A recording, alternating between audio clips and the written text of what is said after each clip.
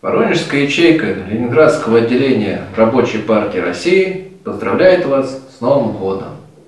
Желаем вам в новом году удачи в борьбе за улучшение условий труда, сплоченного коллектива на работе, крепкого здоровья. За прошедший год правящий класс в очередной раз показал свою негативную позицию к рабочим. Если не хотите быть марионеткой в руках своего работодателя, повышайте свое классовое сознание, вступайте в ряды Рабочей партии России, поступайте учиться в Красный университет. С Новым годом!